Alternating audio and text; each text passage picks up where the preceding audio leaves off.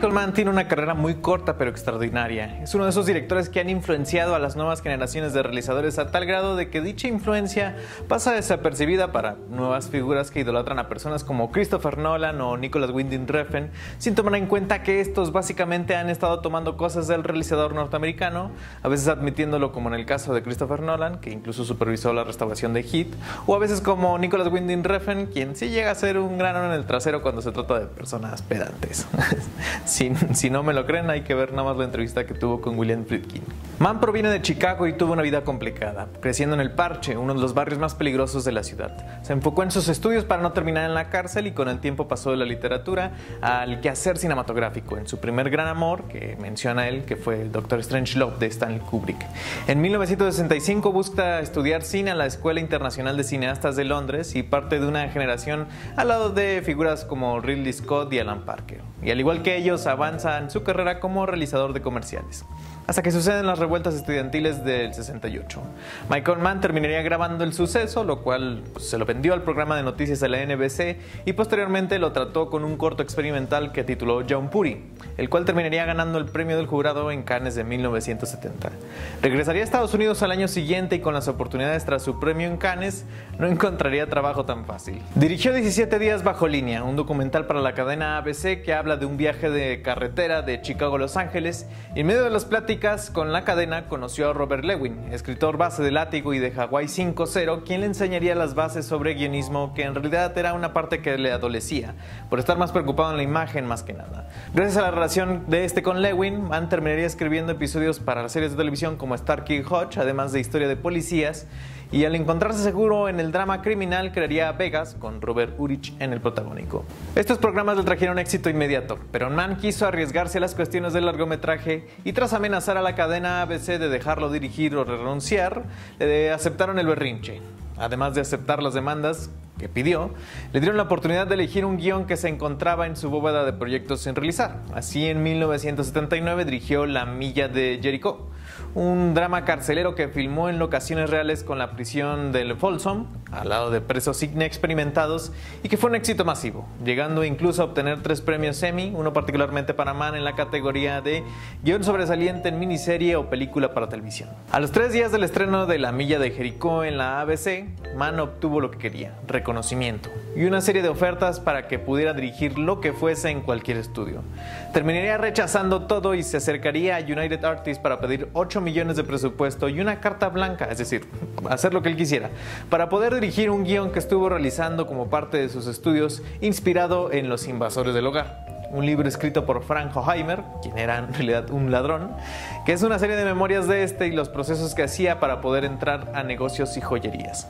Mi profesión ladrón, que es un título bastante feo, lo voy a decir ladrón a partir de ahora, inicia de manera magistral. Nos anuncia el título del filme y los involucrados con un azul turquesa en medio de la oscuridad que luego se transforma en las calles húmedas de Chicago, espectrales, salvo un coche que anda vigilando unos radares.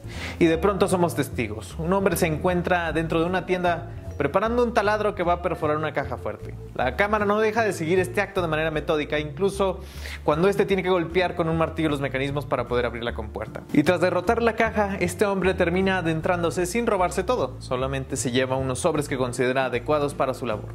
Después se escapa con sus compinches en medio de la lluvia y un cada vez más potente tema musical electrónico arrasa a nuestros oídos.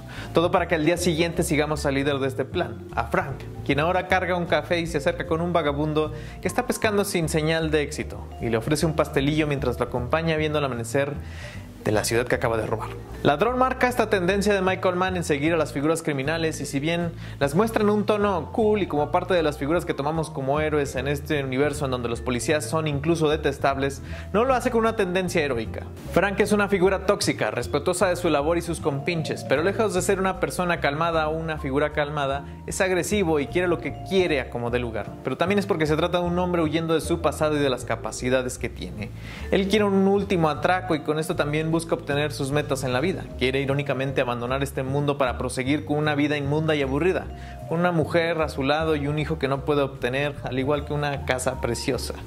Irónicamente todo esto es porque su pan de cada día lo consigue de manera poco tradicional. Las consecuencias de esto en relación a que todo el mundo le parezca tan fácil es algo que vemos perfilando desde el inicio y en algún punto pues le va a explotar en su cara. James Caan hace un magistral papel, quizás uno de los mejores de su carrera, solo después del de Misery, porque no solamente es un matón profesional, sino que en medio de las pláticas con Jessie, interpretada por Tuesday Will, se muestra torpe, es incapaz de sentir empatía por alguien más que por sí mismo y cuando intenta abrirse termina más cerrado que una ostra en su mundo y en su daño y en su poca confianza. Ladrón específicamente tiene un profundo interés en este hombre, a quien si es incapaz de tener una relación estrecha con alguien, no es lo mismo con su trabajo, y al cual la película sigue en un tecnicismo impecable y poco superado. También le acompaña un cast impecable. Tuesday Will se muestra dolosa frente a las decisiones de Frank como Jessie, una cajera que ha sufrido las mismas vejaciones que el hombre al que termina adherida y que nunca logra comprender. James Belushi hace su debut y lejos de querer seguir la pauta de su hermano en comedias, aquí es un hombre metódico y con pinche del ladrón perfecto. Quizás las más grandes revelaciones sean la de Willie Nelson, quien desde que yo recuerdo siempre se ha visto igual de anciano y aquí funge como el mentor de Frank, quien se encuentra tras las rejas y en la única escena en donde la naturalidad de este logra sacarle una lágrima al rudote de James Caan. Y el terror de Leo, interpretado por Robert Brodsky en su debut a los 50 años de edad, quien nunca parece ser tan amenazador hasta que las reglas del juego no salen como él quiere. Y le da la lección de vida a Frank de que no importa cuánto quiere huir del negocio, el negocio no quiere huir de él.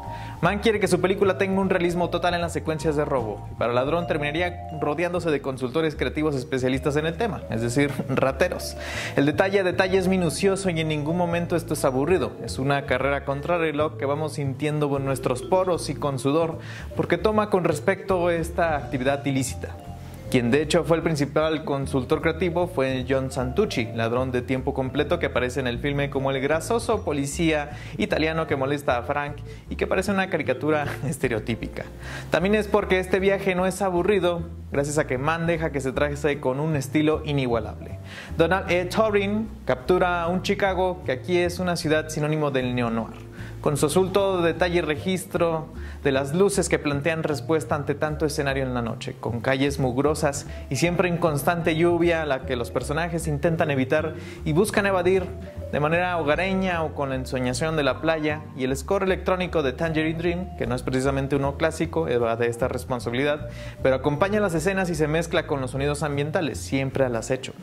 Ladrón se volvería una de las películas más celebradas por los críticos de 1981 que nadie vio, a pesar de aparecer en las listas de varios críticos como Roger Ebert y Gene Siskel del mejor del año y de marcar tendencia dentro del subgénero, probablemente haya sido incluso devorada por el impacto posterior de Blade Runner en el terreno del neo-noir. Nadie menciona a Ladrón, quien se suele marcar y mencionar también como clave en estos tiempos por parte de personas como yo. Logró recuperar su inversión y como señalamiento de que los Razzies son una porquería, nominarían el trabajo musical de Tangerine Dream, porque también esta era una tendencia de que la música electrónica estaba invadiendo las películas. Lo importante es que el mundo conoció a Michael Mann de manera autoral y este respondería no volviendo a las calles de Chicago y su crimen, sino que terminaría siendo algo más estrafalario, una película de horror de la Segunda Guerra Mundial de escala expresionista que casi acaba con su carrera. Pero esa es otra historia. Eso fue todo, no se olviden de checar la cartera cultural en Zona Franca, aquí están mis redes sociales. Ladrón, la pueden encontrar como siempre en la colección de Criterion y también yo recuerdo mucho de niño la música porque era algo que mi papá ponía muy seguido, sobre todo el, el tema final con la guitarra, donde te sientes muy heroico. Es una película también de papás, pero las películas de papás son geniales. Nos vemos.